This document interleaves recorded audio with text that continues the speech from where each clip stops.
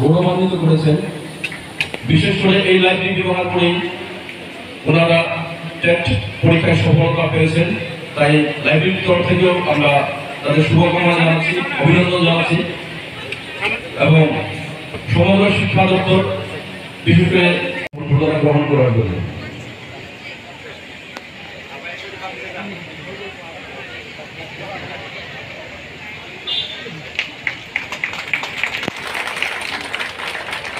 যুব সমাজ যুব সমাজ যেটা আইকন, সেই বিবেকানন্দের ছবি যে ছবি যে, ছবিকে প্রেমে সুবিধা সরকার চেষ্টাকৃতম এবং সামকালিত আরও জানাব, তিনি প্রথমবার স্বাধীনতারই পঁচাত্তর বছর পরেও তিনি কাঞ্চনপুর সাব ডিভিশন এই প্রথম যে পাবলিক লাইব্রেরি নাই। পাবলিক লাইব্রেরি রিয়া মনে মূল উদ্দেশ্য ছাত্রছাত্রী এবং যারা শিক্ষিত যুবক, যুবতী তোমরা ভবিষ্যৎ শিয়ানাইমা রিয়ানাইমা এবং বই বাইকে তোমাকে যে কোনো সুফলা পরিচয়, জ্ঞান, বুদ্ধি এবং বিভিন্ন সুযোগ সুবিধা হতে হোক রণনীতি নামাই এই যুগ। যে মোবাইল তোমার ইন্টারনেটের মাধ্যমে যত খবরাখবর চেম্মাই হয়ে থাকাও এবং যে পাবলিক লাইব্রেরিও খাইয়ে খুব অপমাইও কিন্তু যে পাবলিক লাইব্রেরি থাকে মাঠে ফিরেছি আমার মোবাইল নতম আপনি কি যে চম্বরাও বাই ভুল। মোবাইল নাইয়ে হয়তো খুব অযত্ন নাই নাই। কিন্তু দিনে আরও সাইক্ল ক্ষতি মলামাত public library time to time খাইয়ে যত পাই মিলিয়ে আচুগে ইত্যাদি খেয়ে বিভিন্ন ধরনের জ্ঞান অর্জন ক্ষেম আবহিনে আলাদা তো। এটাই অনেকে বলে আজকালকে এই যুগে লাইব্রেরির কোনো প্রশ্ন আছে? আমাদের হাতে তো সব স্মার্টফোন সব জনের তো প্রায় স্মার্টফোন আছে। তো আমরা যে কোনো খবরাখবর বা যে কোনো একটা পাইতে গিয়ে গুগলে সার্চ করলে আমরা সব কিছু পেয়ে যাই। তার জন্য আমরা পাবলিক লাইব্রেরির কোনো প্রয়োজন নেই। অনেকের কাছ থেকে আমি সেরকমই শুনছি। কিন্তু দুটি জিনিস আলাদা। একটা মোবাইল থেকে যেটা তথ্যগুলো পাওয়া, অবশ্যই পাবেন সবাই। কিন্তু তাতে এক সাইড হয়তো ক্ষতি থাকতে পারে। এবং পাবলিক লাইব্রেরিতে সঠিক সময়ে, ফ্রি সময়ে, সুস্থ জ্ঞানে এসে যদি বইপত্র পড়ে যে জ্ঞানগুলো অর্জন করবে, তাতে শুধু জানা তথ্যগুলো জানানোর তার সাথে মন মানসিকতা এবং আগামী দিনের জন্য তার যে গঠন, যেটা মানসিক গঠন যে তৈরি হবে, সেটা আলাদা হবে। তার জন্যই আমি সেটাই বলব, যাদের যে চিন্তাধারা পাবলিক লাইব্রেরি আমাদের কোনো প্রয়োজন নেই, আমাদের হাতে এখন স্মার্টফোন রয়ে গেছে, এবং স্মার্টফোনের মাধ্যমে সব কিছু তথ্যগুলো আমরা জানতে পারি। আবদি কি চঙ্গে বয়স তো মেরনি আমার চিন্তা ভুল। তো তিনি কয়েকটা হয়তো খুঁজে বাইছিলাম মোবাইল বাই অনেক কিছু মনে হয়। অনেক ইনফেকশন হওয়ার জন্য। অনেক পরিবারে আমরা দেখতে পাচ্ছি। কয়েকজন। আবার বেশি কাছে দূরে আমার পাশাপাশি কেউ আমরা দেখতে পাচ্ছি। যে স্বামী স্ত্রী উভয়ে চাকরি করত আর গড়ে ছেলে বা মেয়ে আছে। আড়াই বছর বা তিন বছরে। তার দেখভালের জন্য আমরা সঠিক কাজের গ্রুপ পাইনি। তার জন্য আমরা সকাল বিকাল রান্না করতে, ব্যস্ত থাকতে গিয়ে বা দেখ বাসন সাফ করতে গিয়ে মোবাইল ফোন অন করে ছেলে বা মেয়েকে দিয়ে যায়। এবং যতক্ষণ পর্যন্ত মোবাইলের যে বাজনা গানগুলো চলবে, ততক্ষণ উনি না কেটে সেটি দেখে মা বাবাকে কাজ করার সুযোগ দেবে তো এই সুযোগটা গার্জেনরা নিতে গিয়ে, তার যে ছেলে বা মেয়ে কতটুকু ক্ষতি হয়েছে সেদিকে আমরা কিন্তু চিন্তা ভাবনা করতাম পারি। তো এই সমস্ত বিষয়গুলো, আমাদের জ্ঞানে থাকা উচিত। কাজে যতটা সহ কম সময়। এই কম সময়ও একটা ফাউন্ডেশন স্কুল লাইন খেলায় দশ দাদুর দ্বারা ক্লাস টুয়েলভ স্কুল में স্কুল বিল্ডিং কনস্ট্রাকশন এবং তিনি মাননীয় শিক্ষামন্ত্রী অনেক তিনি ট্রাস্ট একটা সময় তুলে তো আং ট্রেকা উপান সারিখানিয়া বৈশ্বিক জড়াবন যত্ন অভিভাবক ছাত্রছাত্রী এবং যত বুদ্ধিজীবী জ্ঞানজীবী রন্থিয় আনি কর্মতে লাউয়ামানি বসুন্ধরা কৌদ্যতনি থিয়ত চাইলেন সংক্ষিপ্ত আলোচনা আর দীর্ঘায়িত করতে চাচ্ছি না। এইটুকু বলে আমি আমার সংক্ষিপ্ত আলোচনা শেষ করছি। সবাইকে নমস্কার। যারা স্টুডেন্ট আছো তাদেরকে বলছি এই লাইব্রেরিটা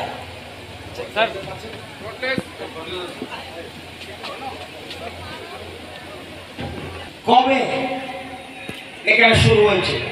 যে জানবে হাত তুলবে। আঠারোশো উননব্বই। আমরা আমরা স্টুডেন্ট না। আপনাদের মন্ত্রী এখানে আছে। আমি শিশুদের মন্ত্রী। কেন বলছি কথা? আমাদের স্লোগান এক ত্রিপুরা শ্রেষ্ঠ। আমাদের স্লোগান সবকা সাথ, সবকা বিকাশ, সবকা প্রয়াস। এক ত্রিপুরা শ্রেষ্ঠ ত্রিপুরা। কে বানাবে? স্টেজে যারা আছে তারা। ওই যারা ক্লাসরুমে আছে, এক ত্রিপুরা শ্রেষ্ঠ ত্রিপুরা বানাতে হবে। যারা বর্তমানে ক্লাসরুমে আছে, তারা ঠিক করবে? ডক্টর এপিজে আব্দুল কালাম বলেছেন the destiny of the country is being shaped in its classroom. আগামী দিনে দেশ কোন জায়গায় পৌঁছেছে দেশের ভবিষ্যৎ কি? সেটা নির্ভর করবে। পিছনে কথা বলবে না। আমি ফলো করছি কিন্তু ইয়েস হ্যালো ইয়েস অন্য জায়গায় মনোযোগ।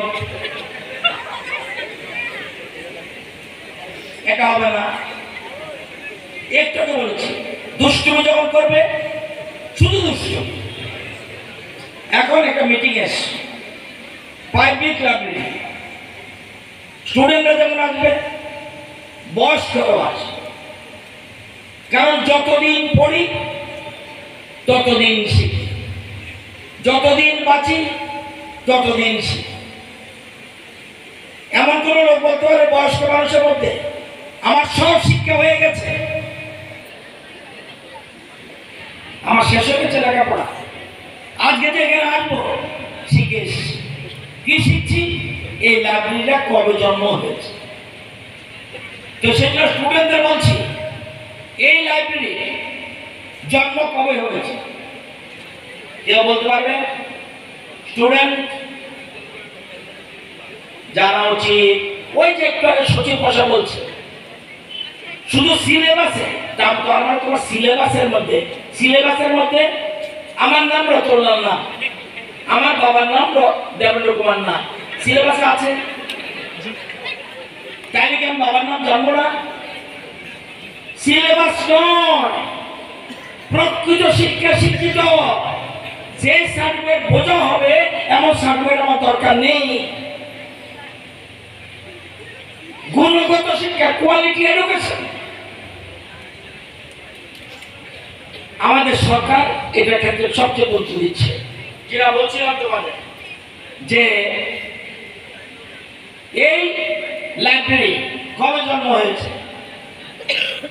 স্টুডেন্টরা বলতে পারবে না। অভিভাবকদের নিশ্চয়ই কেউ বলতে পারবেন এই লাইব্রেরির জন্ম এটা হলো আঠাশে মে উনিশশো উনানব্বইতে। লাইব্রেরির জন্ম হয়েছে। এখানে সরকারি পাকা বাড়ি ছিল না। তাই মহকুমাবাসীরা চিন্তা করেছে, তাদের শিক্ষার চাহিদা পূরণের জন্য কাঞ্চনপুর থানার পাশে ল্যাম্পসের একটা টিনের চালা ঘরে এই কক্ষে ভাড়ার বিনিময়ে এইটিন নাইনটিন নাইনটিন এইটি এটা শুরু হয় এবং ল্যাম্পসে সেই বেড়ার ঘরটির এক একদিকে ছিল তথ্য সংস্কৃতি দপ্তর। অতীতকে জানতে হবে। অতীতকে জানতে হবে, অতীতকে বুঝতে হবে। তাহলেই আগামী দিন চলে যাবে। আমি অতীতকে জানলাম আমি আমার ঠাকুর দাদার খবর নিলাম না। এর একটু কবে আমাদের ভারতবর্ষ যুক্ত হয়েছে খবর জানলাম না প্রকৃত শিক্ষা শিক্ষিত তো সেখানে একটা সাইডে ছিল তথ্য সংস্কৃতি দপ্তর। তার পাশের ঘরটিতে এই লাইব্রেরি এবং এরপরে তথ্য সংস্কৃতি দপ্তর তাদের নিজস্ব বিল্ডিং শিফট করে চলে যায়। পাবলিক পাবলিক লাইফ নিজস্ব ভবন না থাকায় এই লাইব্রেরিটি এই বেড়ার ঘরে পাঠক পরিষেবা চালায়। পরবর্তীকালে ভাড়াঘরটি মেরামত করার জন্য ছেড়ে দিতে হয়। চলে যায় স্বস্তি সমিতির ঘরে। সেখানে ভাড়া স্ট্রাইক চলতে থাকে এবং বত্রিশ বছর পর আজকে সেই লাইব্রেরি শুরু হয়।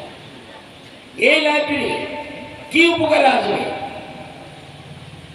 এই লাইব্রেরি কি উপকারে আসবে? শুধুমাত্র স্কুলে পড়লে হবে না কলেজে পড়লে হবে না। প্রকৃত শিক্ষা শিক্ষিত হতে হবে। নিজেকে জানতে হবে। পাশের বাড়ির লোকটাকে স্বামী বিবেকানন্দ যে যে ফটোটা আমাকে দিয়েছে, স্বামীজি বলছে, আমি পরীক্ষা পাশ করা আর পরীক্ষার ডিগ্রি পাওয়া আর স্ট্যান্ড করার জন্য শিক্ষা নয়। ম্যান মেকিং এডুকেশন আমি প্রফেসর আমি টিসিএস অফিসার আমি আইএস অফিসার, আমি পুলিশ অফিসার, ডাক্তার, ইঞ্জিনিয়ার হয়েছি, মানুষ হয়েছিনি Don't মানুষই যদি না হতে পারলাম, অন্যের দুঃখ যদি দুঃখ না হয় ইমোশন থাকতে হবে। একটা অ্যাক্সিডেন্ট হয়েছে। অ্যাক্সিডেন্টটা দেখে চলে এলাম দিয়ে। তার মানে আমি মানুষ নই। আমার ইমোশন থাকতে হবে, সামাজিকতা থাকতে হবে, দেশকে ভালোবাসতে রাষ্ট্রবাদে বিশ্বাসী হতে হবে। নাহলে কিসের এডুকেশন ফিশারি এবং জনজাতি দপ্তরের মন্ত্রী মহোদয় উপস্থিত শিক্ষা দপ্তরের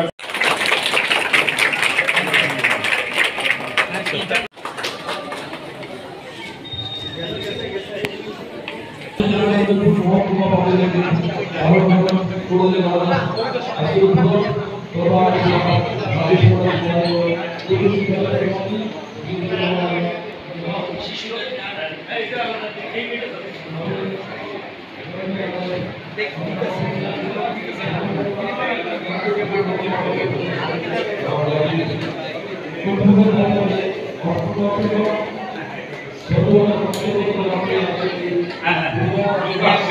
এটা এটা হলো আমরা মেইন বাচ্চাদেরও। হ্যাঁ বাচ্চাদের স্যার বাচ্চাদেরও বাচ্চাদেরও কুইজ টুইজ হ্যাঁ হ্যাঁ হ্যাঁ ঠিক আছে। এটা স্যার সিনিয়র সিটিজেন